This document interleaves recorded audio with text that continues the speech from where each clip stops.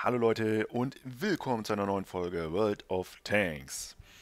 Ja, mit unserem zweiten Teil geht es jetzt weiter. Die besten Tech-Tree-Panzer ähm, Russland. Wir sind eine Nation weiter. Und ja, gleich mal grundsätzlich gesagt, macht ihr bei dem russischen Forschungsbaum, gerade auch als Einsteiger, nicht so viel falsch. Ähm, die russischen Panzer verzeihen eigentlich am meisten Fehler. Jetzt könnte man natürlich meinen, es sind doch die stärksten Panzer im Spiel. Äh, ein Schelm, wer da bei dem russischen Entwickler was Böses denkt. Aber ja, also es ist, ist nicht so, dass sie unüberwindbar sind. Äh, sie sind schon gut, so ist es nicht.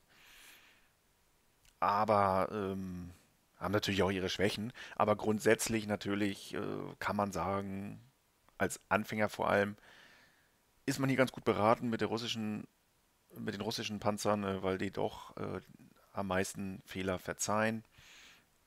Und ja, ähm, gucken wir doch mal, was sich denn hier lohnt und ähm, was vielleicht nicht unbedingt. Auf jeden Fall habt ihr auch hier wieder einen Panzer, der kostenlos ist. Das ist hier der BT7, wieder ein Light. Wie schon bei, bei den USA erwähnt, ähm, empfehle ich nicht unbedingt mit einer Leitreihe zu beginnen. Hier ist es jetzt so, sind die ersten beiden allerdings wieder Lights, der BT7 und der A20. Die kleineren Stufen, also Stufe 3 und 4, wieder zum als Einstiegspanzer sozusagen, äh, sehe ich auch noch nicht unbedingt als reine Leitklasse. Das äh, würde ich hier noch, äh, das würde ich hier noch als passend empfinden und auch sagen, ist okay, kann man machen. Ähm, wenn man dann jetzt hier weiter guckt, geht es hier allerdings komplett mit der Leitreihe weiter. Da ist dann die Frage, ja, sammle ich lieber noch ein bisschen Erfahrung und gehe dann an diese Reihe. Ähm, ansonsten wieder das äh, bekannte Prinzip, erstmal den Panzer so weit spielen, bis alle möglichen Wege erforscht sind. Also in diesem Fall jetzt der T34 und parallel dann der T50. Ähm, ja, als Anfang, ab zum Anfang würde ich auch tatsächlich diese Reihe hier empfehlen. Hier geht es nämlich nachher weiter zu den Mediums, die allesamt sehr, sehr gut sind. Unter anderem auch speziell, aber da kommen wir noch zu. Ähm, ja, das zu Beginn eigentlich macht man da nicht viel falsch. Ganz solide Reihe eigentlich durchweg. Und ähm, ja, wie gesagt, am Anfang gar nicht so verkehrt. Nehmen wir mal an, wir sind denn jetzt hier T34, hat jetzt gleich drei Möglichkeiten, hier könnte man auch wieder sagen, man überspringt den T50 und geht dann auf die Lights. Spielt dann eben nur den A20 bis zum T34. Ist halt auch die Möglichkeit. Ähm, und dann hat man hier eben die Wahl, auf drei Linien zu springen. Und selbst von hier geht es dann noch auf eine vierte. Aber das äh, ja, kann man ja hier an den ähm, Linien gut erkennen, wo es wie weit abzweigt. Wir bleiben jetzt aber erstmal hier auf der Medium Line gerade hoch zum Zielpanzer, in diesem Fall ja, Objekt 140, ist vielleicht sogar noch der etwas stärkere als der T62A, der jetzt gerade zwar einen Buff bekommen hat, also Nachladebuff, lädt ein bisschen schneller nach. Ich habe den, wie wir hier sehen, selber auch gar nicht. Ich könnte ihn mir kaufen, habe ich aber nie gemacht, weil ich ja immer fand, das Objekt 140 und der T62 sind sich doch sehr, sehr ähnlich und ich hielt es da nicht für nötig, beide zu haben. Und ja, deshalb ähm, ist meine Empfehlung jetzt auch erstmal Richtung Objekt 140 zu gehen. Und dann äh, sind wir da, wie gesagt, hier beim T34 und äh, ja, könnten uns dann natürlich erstmal wieder alle Möglichkeiten alle Optionen freihalten, das heißt alle drei über, über ihm erspielen. MT25, T34 85 und den A43. Hier muss man dann auch ja, bisschen, mit ein bisschen Weitblick so gesehen, weil ja, die Forschungsbäume sind ja leider nicht so übersichtlich, ähm, kann man dann ja auch hier über den A44 nachher auf eine andere Linie gehen und wiederum drei weitere Zehner erspielen. Deshalb ist das, glaube ich, von Vorteil. Man erspielt sich mit dem T34 erstmal alle drei Optionen, wie ähm, auch schon bei den USA, wie wir es da erwähnt hatten oder ich erwähnt hatte. Und naja, man macht mit denen auf jeden Fall mit allen nicht so viel falsch. Auch der T34 auf Stufe 5 ist schon ganz brauchbar. Nichts, was man unbedingt behalten müsste vielleicht, aber er lässt sich relativ angenehm durchgrinden. Und ja, dann ist es auch nicht so eine Qual, jetzt gleich drei Panzer zu erspielen. Wenn man dann aber dann einmal damit durch ist, dann ja, haben wir hier den T34 85 und den A43 und dann letztendlich hier den MT25 auf der Light Linie, die lasse ich jetzt mal kurz noch außen vor. Ähm, hier bei den beiden sehe ich den T3485 ähm, schon als den stärkeren und ja, besseren Panzer eben. Den gibt es auch in vielen, vielen äh, Premium-Varianten. Oder sagen wir zumindest in einigen Premium-Varianten. Und ähm, ja, der Panzer durchaus Potenzial in der Garage zu bleiben. Ist auf jeden Fall nicht der schlechteste Sechser.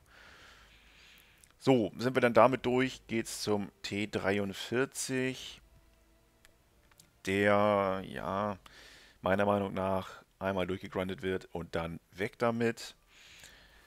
Dann kommt es zu Stufe 8 T44, der wiederum sehr, sehr gut ist. Kann man auch überlegen, den nochmal vielleicht sogar zu behalten. Auf jeden Fall ist der brauchbar, mehr als brauchbar sogar. Und ja, was den Grind dann natürlich auch angenehm macht, hier tatsächlich nur mal zu einem einzigen Panzer, nämlich zu dem T54, der auch auf Stufe 9 sehr, sehr gut ist. Kann man auch durchaus überlegen, ihn zu behalten. Also ein wirklich sehr, sehr starker Medium. Und von dem aus äh, geht es dann eben zum König an der Spitze, dem Objekt 140. Oder, wer will, dann eben auch der T62A. Denke, mit beiden macht man nicht so viel verkehrt. Beide sehr, sehr gut.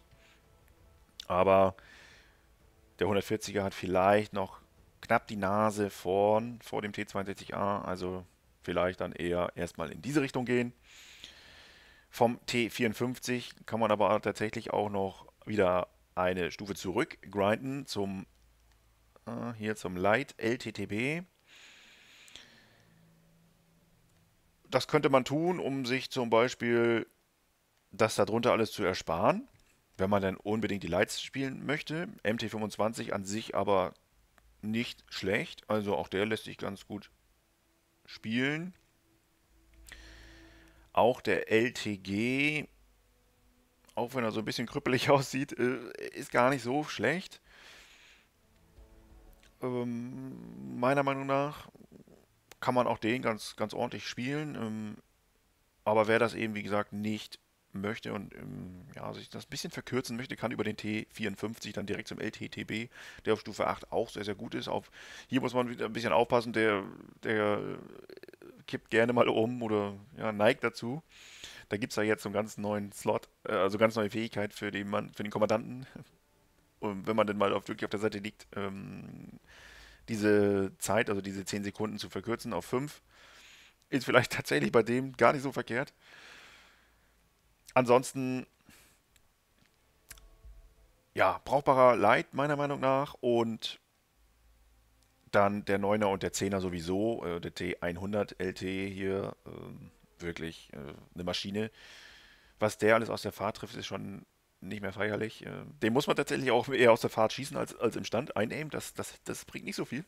Schießt mit dem lieber aus voller Fahrt, das ist besser. Ist, glaube ich, auch der schnellste Light im Spiel mit 72 km/h. Und dazu sehr, sehr flach. Guten Tarnwert. Ähm, ja, also wirklich, wirklich der König der Lights, so gesehen. Also bei den Russen jetzt hier. Vielleicht sogar im ganzen Spiel. Ja. Auf jeden Fall ein sehr, sehr, sehr starker Light. Und ähm, auch der davor, der T54 Leicht, ist nicht der schlechteste. Alles Panzer, die man sich durchaus auch für länger in die Garage stellen kann. Selbst auch den LTTB. Vielleicht sogar den LTG. Ja, durchaus. Alles äh, sehr, sehr gut zu gebrauchen.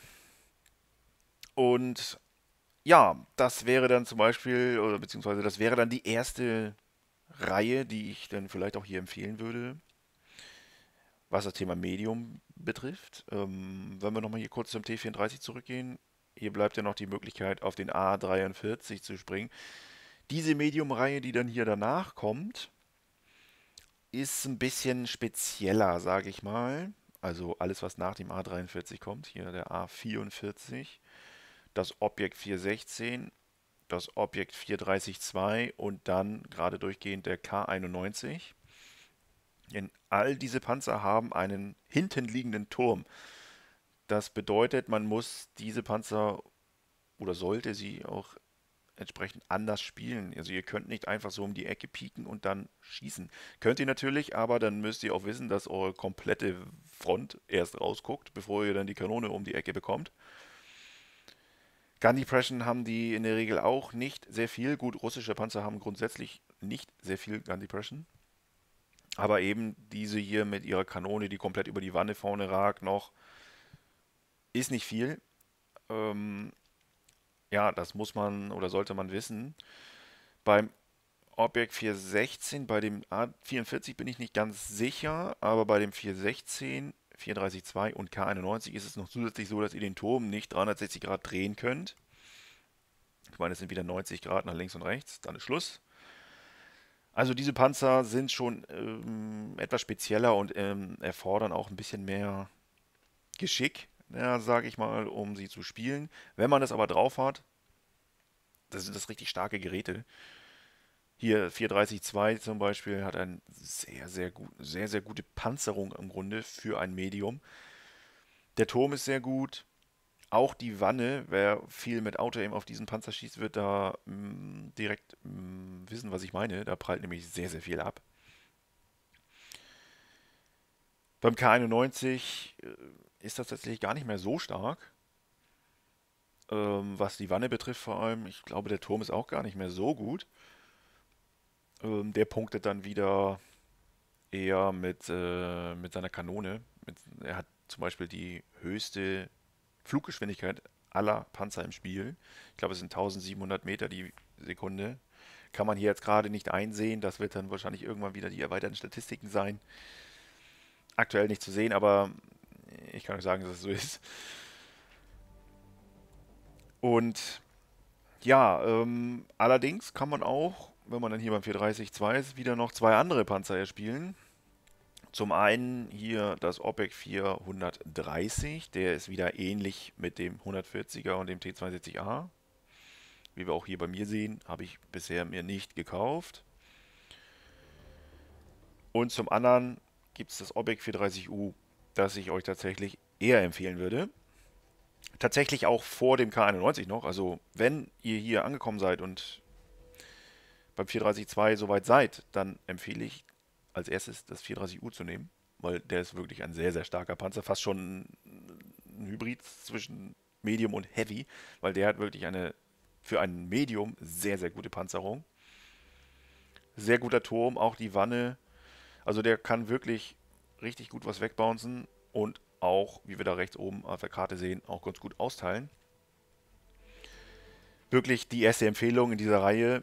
Und ja, wenn es dann aber speziell bleiben soll, dann könnt ihr euch mal den K91 wagen. Und wer will, okay, dann den 430er, dann quasi den Standard Medium sozusagen. Äh, ja, wäre dann diese Wahl. Okay, äh, wer aber keinen Bock auf Medium hat oder dann irgendwie hier schon so weit durch ist oder parallel natürlich auch Heavy spielen möchte, der muss dann eins weiter gucken. Da sind wir dann hier. Wieder aufpassen, hier die ersten beiden fangen anders an. Hier geht es wieder mit dem Light los, T46 und dann der T28. Wieder zum Reinkommen, ja, der T28 ist für seine Stufe mit einem sehr hohen Alpha-Schaden ausgestattet wenn ihr den ausgebaut habt. Das ist äh, ganz gut. Aber nichts, was man auf Dauer behalten müsste. Sowieso, ja, okay, wer jetzt Bock auf Vierer hat, der behält die natürlich, aber grundsätzlich, sage ich mal, braucht man, braucht man die nicht länger als nötig. Und ab hier habt ihr dann eben die Option, nach links und rechts wegzugehen zum KV1S oder eben KV1. Ähm, Empfehlen würde ich dann tatsächlich erstmal diese Reihe, auch wenn ich persönlich den KV1 und den folgenden T150 stärker finde als die beiden, die auf diese Seite kommen. Aber ähm, wenn wir mal weiter nach oben gucken, kommen wir nämlich nur über diese Reihe zu den Klassikern, zu dem Standard-Einsteiger 10er Heavy, den ich sowieso empfehlen würde, der IS7. Und äh, ja, wenn das das Ziel sein soll, müssen wir entsprechend über den KV1S kommen. Ja, im Grunde ist der auch so wie der KV1. Also die sind sich schon relativ ähnlich. Ich glaube, der KV1S hat halt noch so eine HE-Kanone oder eine bessere HE-Kanone. Ich glaube aber, der KV1 kann auch eine HE-Kanone spielen. Äh, ich glaube aber grundsätzlich haben sie die beid, beide die gleichen Kanonen, die man spielen kann. Aber ja, äh, grinde den durch und dann weg damit. Dann kommt es zum KV85, der, ja, bei mir sehen wir es hier, beide ja auch nie gehabt, nie gespielt. Das ging früher mal über einen anderen Weg zum IS7. Das habe ich dann entsprechend auch gemacht und brauchte dann diese beiden hier nicht. KV85 aber trotzdem nicht schlecht. Vor allem, wenn ihr den ausgebaut habt, habt ihr da eine richtig schöne Schelle, die ihr da verteilen könnt mit 390 Alpha-Schaden. Auf Stufe 6 ist das schon sehr, sehr brutal. Und ja, hier könnt ihr jetzt überlegen, entweder ihr kommt über, sowieso über den A43 zum KV13, der, ja, ich sag mal, ist solide, ist wie ein Medium, solider Medium. Besticht, glaube ich, eher dadurch, dass er sehr viel HP hat. Wir sehen das hier 1020, ich glaube, das geht, der lässt sich noch ein bisschen äh, erhöhen. Für Stufe 7 ist das schon recht gut. Ansonsten nichts, was man unbedingt länger behalten müsste als nötig. Aber über den kommt man dann eben auch schon auf die Heavy-Linie hier äh, nachher zum 705 Alpha. Äh, gucken wir gleich nochmal drauf. Äh, ach ja, dieser Forschungsbaum hier, Wahnsinn. Wir sind jetzt noch beim KV85, sind wir damit durch, kann man jetzt, wie gesagt, im wenn man jetzt mit dem A43 nicht länger spielen möchte als nötig und dann nur zum A44 gegangen ist, kann man das ja natürlich mit dem K85 auch noch korrigieren und dann den KV13 erspielen. Man kann ihn aber auch komplett auslassen und zum IS gehen. Müsst ihr sowieso, wenn ihr zum IS7 wollt. Ähm, ja, IS ist solide, Stufe 7. 390 Alpha-Schaden, hat nur relativ wenig Durchschlag, auch auf der Premium-Munition. Und wenn ihr dann Stufe 9 Gegner seht, kann das manchmal, ja, ist relativ dünn. Aber grundsätzlich ist er, wie gesagt, recht solide und lässt sich ganz ordentlich spielen. Wer will, ähm, kann ihn noch länger behalten. Also ist jetzt nicht eine, eine, eine, eine grundsätzliche Empfehlung, ihn zu behalten. Ich habe ihn auch mal wieder geholt. Aber ja, einmal durch und dann soll das im Grunde auch reichen. Von hier aus habt ihr dann die Möglichkeit zu zwei zu gehen. Einmal dem ISM, der nachher zum 705 Alpha führt, oder den IS3. Beides sehr, sehr gute 8er Heavies. Verzeihen ganz gerne mal Fehler. Beide, äh, vor allem der IS3 hier, eine sehr, sehr gute Turmpanzerung wenn ihr die Wanne verstecken könnt und den Turm nur zeigen könnt, dann ja, sind hier auch Zehner, die ihr Probleme haben. IS-3 wirklich sehr, sehr stark. Kann man auch gerne mal länger behalten. Der ISM kam ja mit ähm, komplett dieser Reihe dann mal mit ins Spiel. Der war nicht von Anfang an dabei, aber auch sehr, sehr gut. Kann man äh, auch mal überlegen, sich den dauerhaft in die Garage zu stellen, da macht man auch nicht so viel verkehrt mit. Lässt sich gut spielen und angenehm grinden. Ja, bleiben wir aber erstmal beim IS-7. Dann geht es weiter zum Objekt 257. Auch solide. Lässt sich auch ganz gut spielen. Und ja, hier sehen wir das dann schon. Dann kommen wir auch noch zu einem zweiten Panzer. Auch hier kann man dann wieder sagen oder überlegen, spiele ich ihn weiter zum 277 empfehle ich aber gar nicht, denn der 9er, der zum 277 führt, der zweite hier, ist nämlich deutlich stärker, meiner Meinung nach, und lässt sich auch viel besser spielen. Das macht äh, aus meiner Sicht dann tatsächlich mehr Sinn, über den IS-3 diese beiden erstmal zu erspielen und dann entsprechend auch zum T10 zu gehen, um sich dann das 277 zu holen. Ähm, ja, bleiben wir aber erstmal hier, 27, äh, 257 dann einmal durch und ja, nichts, was man unbedingt behalten muss, aber durchaus kann, bis man dann hier ganz oben angekommen ist beim IS-7, der natürlich, ja, der Klassiker nenne ich ihn mal, sehr gute Turmpanzerung, relativ mobil für ein Heavy, ganz guten Alpha-Schaden, Durchschlags, da sind andere besser, durchaus. Aber er kann ganz gut mithalten, also so ist es nicht. Auf jeden Fall das ein sehr, sehr guter Einsteiger 10er Heavy. Das sollte dann äh, grundsätzlich euer erstes Ziel sein. So, parallel sind wir ja auch schon hier jetzt gelaufen. Der 705 ist ganz ordentlich, ja, aber mehr wirklich auch nicht. Sehe ich noch mit am schwächsten von allen hier. Und dann zum 705 Alpha, das ist auch wirklich ein Brecher. Auch hier muss man aber wieder sehen, der hat den Turm hinten. Hier kann man ganz gut mit Sidescrape arbeiten, anwinkeln und ja, auch der ordentlichen Bums in der Kanone. Und auch einen Grind durchaus wert.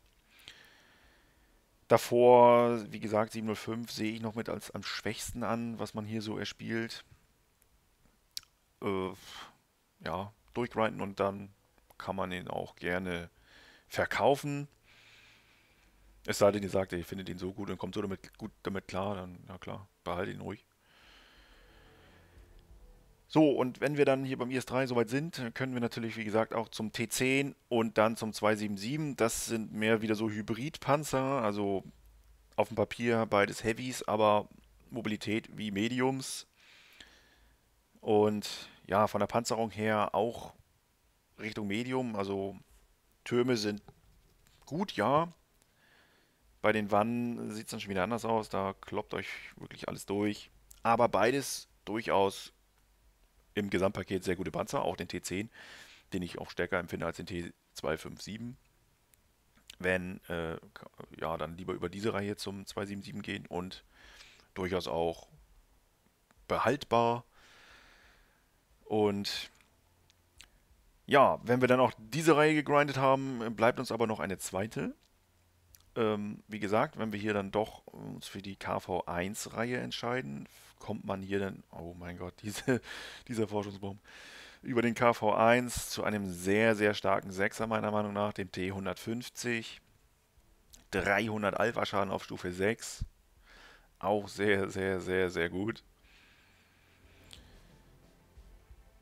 Ähm, von da aus geht es dann weiter zum KV3.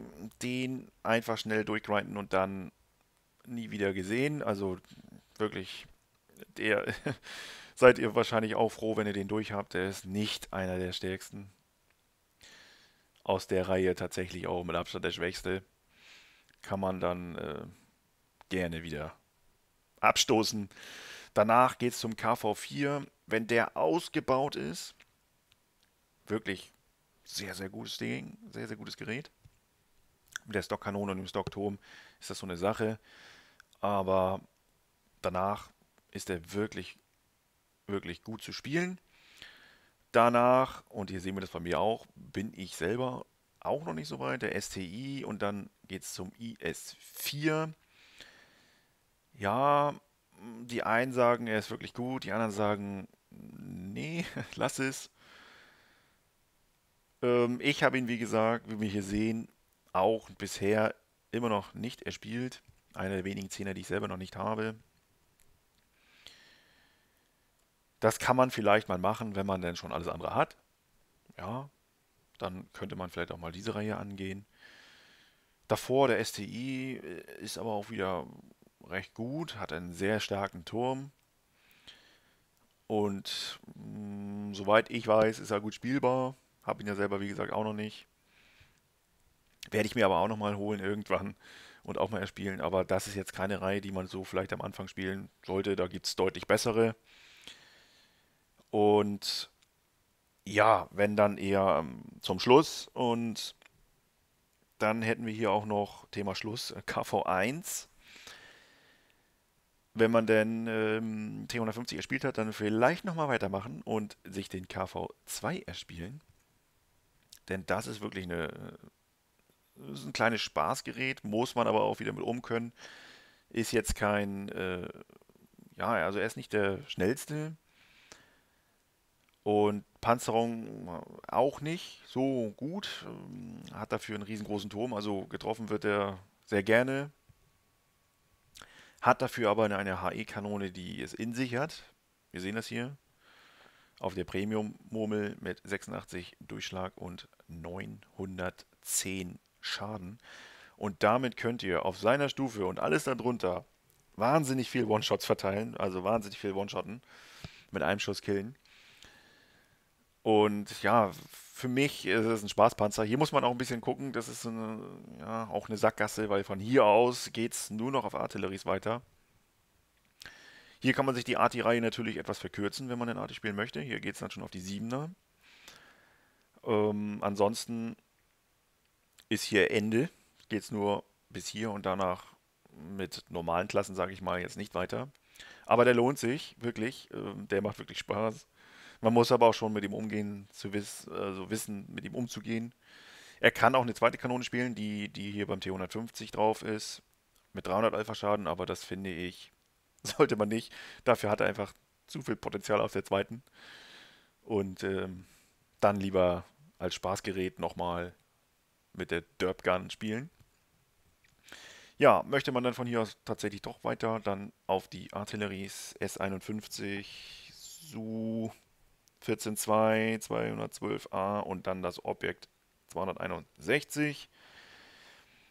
Spiele ich auch immer mal wieder, aktuell in letzter Zeit aber weniger. Ich, momentan lasse ich die Artis komplett links liegen. Ist auch meine Empfehlung an euch. Ich will ja nichts, äh, will ja nicht parteiisch sein, aber lasst sie ruhig stehen. Ja, aber gut, wer will, dann ja, kann sich das Ganze, wie gesagt, über den KV2 verkürzen. Ansonsten geht es hier mit dem kleinen Geschnassel wieder los. Und naja, wer sich das antun möchte, bitte. So, und zu guter Letzt haben wir noch eine Jagdpanzerreihe. Auch hier ähm, wieder, wie auch schon bei den Amerikanern, die meisten ohne drehbaren Turm. Su 76, Su 85B zum Reinkommen, ja, und dann weg. Auch die Su 85 auf Stufe 5. Ja, halte ich nicht für so stark, dass man sie behalten müsste. Da sieht es schon anders aus beim 6er, der Su 100, der macht wirklich Spaß auf Stufe 6. Auch hier 390 Alpha-Schaden. Die teilen auf Stufe 6 wirklich sehr, sehr gut aus. Ja, man muss aber natürlich entsprechend ihn spielen können. Keine Panzerung oder sehr wenig Panzerung. Kein drehbarer Turm. Da muss man schon wissen, was man tut. Von hier aus gibt es dann die Option auf letztendlich das Objekt 268 zu gehen oder eben auch das 263 oder eben auch das 268 Version 4. Ähm, empfehlen, also wir sehen das bei mir hier auch, die beiden habe ich ja auch immer noch nicht, bin da auch noch am Ergrinden, hier bei Stufe 8. Da möchte ich auch noch hin, also man macht hier auch hier mit allen dreien nicht so viel falsch. Zeichnen sich alle durch einen hohen Schaden aus, also am höchsten hier auf dem 268, 850. Die anderen beiden können auch sehr gut Schaden anrichten, nicht ganz so hoch, aber dafür haben sie eine bessere Panzerung. Der 268 ist auch schon ganz anständig, aber verlasst euch nicht allzu sehr drauf, dann schon eher beim 263 und Version 4 hier, 268 Version 4. Die kommen zusätzlich noch mit ganz guten Panzerung daher. Ansonsten, ähm, ja, zeichnet sich die Reihe durch sehr, sehr hohen Alpha-Schaden aus, aber wenig Panzerung.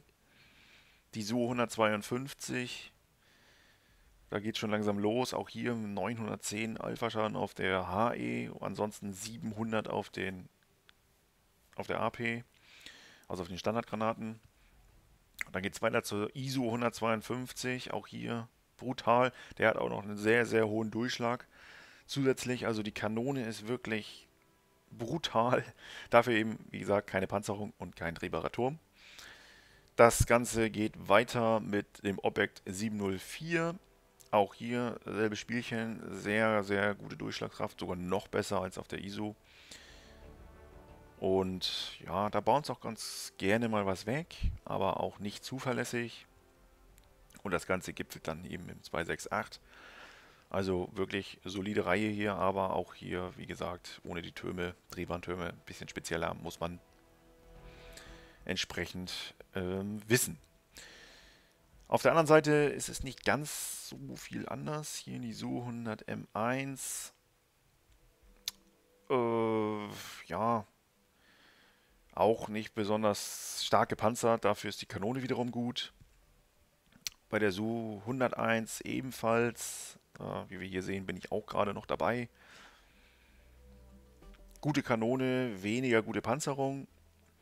Und dann geht es weiter zur Su 12254, bei der wird es ähnlich aussehen. Und dann habt ihr eben von hier die Option zum 263 oder 268 Version 4 zu gehen. Ich glaube, da kann man mit beiden nicht so viel verkehrt machen. Ich werde das auch mit der SU 12254 machen, wie ich es jetzt hier schon immer vorschlage. Erstmal beides erspielen und dann vielleicht auch beides irgendwann dann kaufen.